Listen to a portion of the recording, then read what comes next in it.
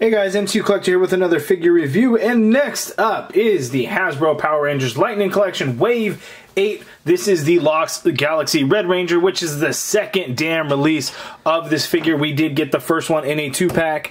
That was a fan channel exclusive that came with the Psycho Red Ranger. Here we have the Lost Galaxy Red Ranger again, Leo.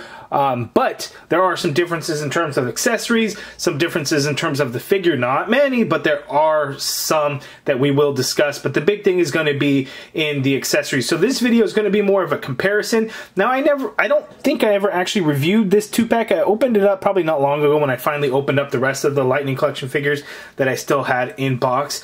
Um, but we'll get to all of the difference. The big one is going to be the different head sculpt, which I think the new one has a much more accurate Leo head sculpt compared to this one, but we'll get in close so you guys can see the difference between the two. So let's get right to it and open this box up. Okay, so here is the Lost Galaxy Red Ranger figure, Leo, out of the package and all of his accessories. So first, what we're actually going to do is take a look at the accessories. Then we're going to get in for close-ups of some of the um, features of the figure, and we'll kind of do the, the close-ups so you can kind of see the differences between the two. So first, let's go over the accessories and talk about the big thing, and that is the fact that this single release does not include the Quasar Saber fully extended, whereas the two-pack version um, had it. This one does not, which I know a lot of people are not happy with that, but at least that adds the incentive that if you got the two-pack, at least you had something um, extra that made it worth it, I guess, now that they released this guy.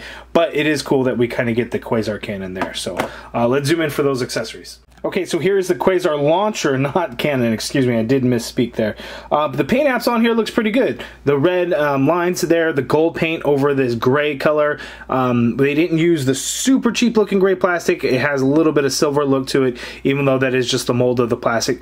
It looks good. We get some silver paint there, a little bit there, a little bit there over the red handle portion, gold there on the end, and that all looks really good. We actually get this flame effect. I kind of would have preferred it just be all red instead of having the orange orange and yellow to make it look like a flame because the way it looked in the show was just kind of like a red ball of energy shooting, uh, blasting from the launcher. So I would have preferred solid red um, but that is how it looks there. Now you wonder like if they do the rest of the lost galaxy in the individual releases they're gonna have to include the quasar launchers right? I think they have to. And then if they're gonna do that they're gonna have to include the quasar sabers too right? Right we shall see. One cool thing about the Quasar launcher is if you pull hard enough, because they lock into place, you can actually extend the cannon, which, as you can see there, and then this side, but it's tight locked into place. You gotta really kind of break it free. Um, pretty awesome there. When I zoom out of here I'll show you how high it stands up you know next to the figure. So that is pretty cool and just kind of slides right on back. Then you can kind of click it and it locks back into place. So we'll leave that off to the side there. Here is whoops here is the Quasar Saber that comes with Leo. And as you can see this one is not extended out.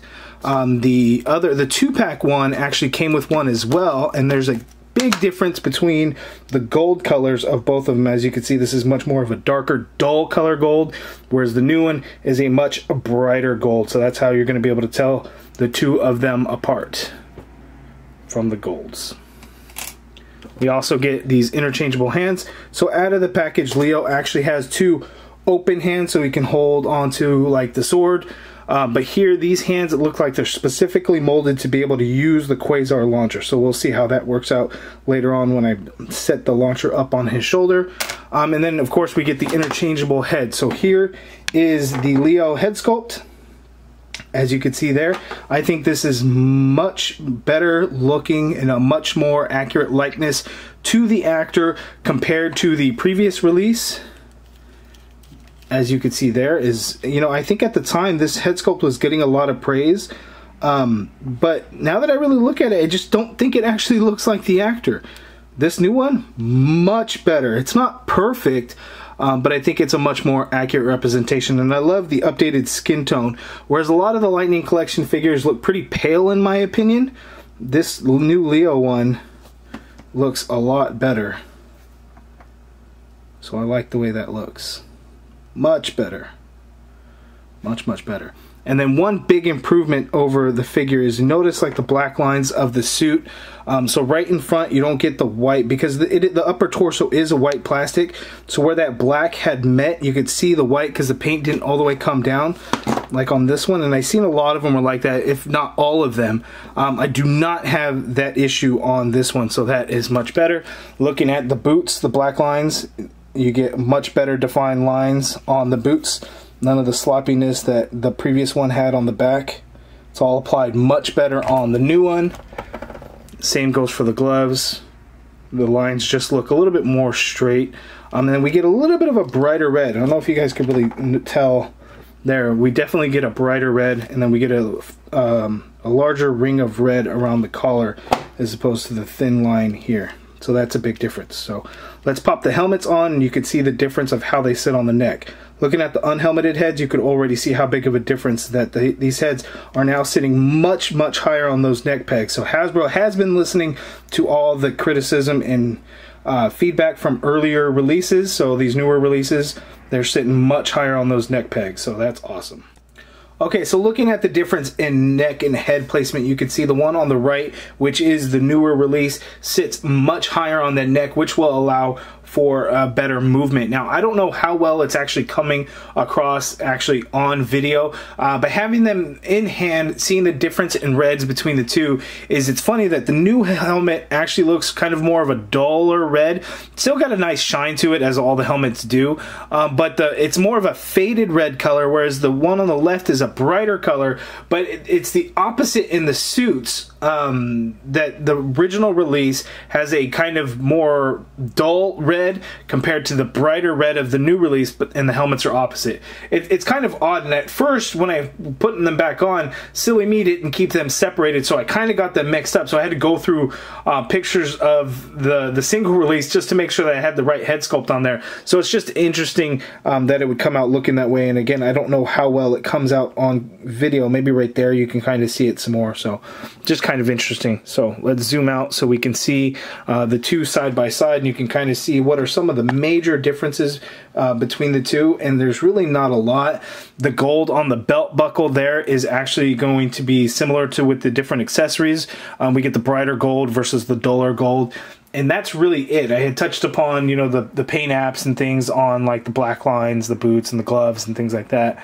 Um, so you could see but not a whole lot else going on with the figure itself. The helmet is the exact same. If anything, though, the yellow is a little bit brighter on the new one, whereas it's definitely filled in more, whereas this one, it kind of looked a little choppy in some spots. Um, but other than that, pretty same um, across the board. So now let's actually go over the articulation. Okay, so Leo's articulation. So with the head, he can look down that much. He can look up that much. You get tiny bit of pivot going on in there. And then, of course, you get the full rotation. You can get the arms to go up that high and up, which is great. You can get a full rotation in there. Of course, there is the butterfly joint, so you can get the arm to go back that far. Coming forward, you get it to go a little bit to be able to cross body, so that is cool. You got the upper bicep swivel there. You get a solid double jointed elbow, like so. Did I say el double jointed elbow, upper bicep swivel. Um, the hands and the wrists hinge like so. You get a swivel. Um, this extra hand right here that's meant for holding the launcher, that actually has the vertical hinge, whereas all the other hands actually have the standard horizontal hinge that we get. We have the upper diaphragm joint, so Leo can tilt to his left that much. He can tilt to his right that much. He can go back slightly. He can come forward slightly. But then we get the ab crunch in there. So going using both, you can get him to go back that far. Going forward, you can get him to go forward that much, which is pretty good, but you can kind of see um, how the sculpt looks on the back, which is a little bit funky, so be aware of that. You get this twist rotation at the diaphragm joint. There is no waist swivel. His legs can go out that far apart. He can kick forward only that much, but it's kind of funky, I guess. I never really noticed that. It seems like a little bit less than we would get with most Rangers. Um, upper thigh swivel there. You get a double jointed knee like so. Boot swivel at the top of the boot. Foot hinges all the way down like so. Hinges up slightly. Ankle pivot peg holes at the bottom of the feet. So standard articulation for the Power Rangers Lightning Collection, even though his leg doesn't seem to kick up that high. But let's see how he looks with the launcher. Okay, so here is Leo holding the launcher, which is pretty good. The hand works out quite well. You just kind of have to move the fingers out so he can really kind of grip that handle there. This other hand you can kind of extend so he can provide the support underneath uh, the launcher like so, which is pretty cool. Now, one thing that I don't remember in Lost Galaxy is one that I watched. I may not have paid 100% attention as all as I was kind of binge watching it and going through it and watching with my son. I don't recall, and I just watched a clip on YouTube of this. I don't recall the launchers actually being extended out um, in the show. And then maybe that's something that I'm missing, or maybe it happens in a particular episode. Um, I know that the launchers also have the Orion armor when they do the Lights of Orion armor special ranger suits. I wonder if Lightning Collection would ever actually do those kinds of things. Maybe way later down in the line, who knows? Um, but I just, I, am kind of confused as to why the, the launcher actually extends. If you guys let me know, if you guys know, let me know down in the comments below. Give me the heads up as to what's going on there. Uh, but in the clips that I saw, I didn't see that. And from what I remember, I didn't see any of that. So um, there's something that I'm clearly missing there. Uh, but I think it looks kind of wonky when it's super extended out. So I think when you actually have it pushed together like that, um, it actually looks really good and becomes much easier for somebody to use um, when getting into like a launching position type of deal. So if you have Leo getting ready to launch, you know, I know some of the Rangers do it uh, from while down on a knee. I think Leo actually stood when he used the launcher, but you could do stuff like this, which is pretty cool. I actually really like the way some of that looks, and it's probably going to end up being the thumbnail, uh, something like that. So that is a definitely a really nice touch. Okay, so not a whole lot of figures for Power Rangers Lost Galaxy yet. We have Leo twice over. Psycho Rangers kind of works for Lost Galaxy. I mean, the pink Psycho Ranger really does some damage going on. Um, but the Psycho Rangers originated in Power Rangers um, in space, uh, but they kind of work. That's why, obviously, you know, the the Red Ranger came in the two pack with the Psycho Red Ranger.